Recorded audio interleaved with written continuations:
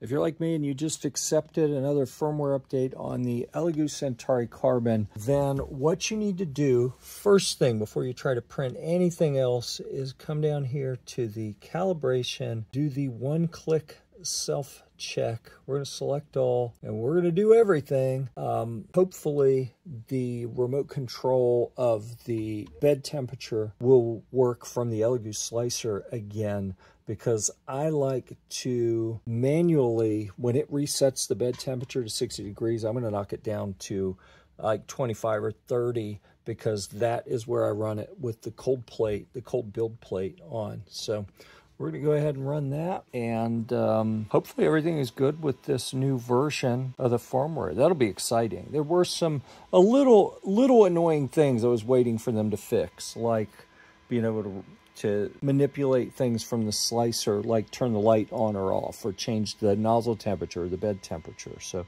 having those fixed will be a big deal for me. So keep your fingers crossed. Do you think it's going to work? I'll let you know in another video. You have to subscribe if you want to see that.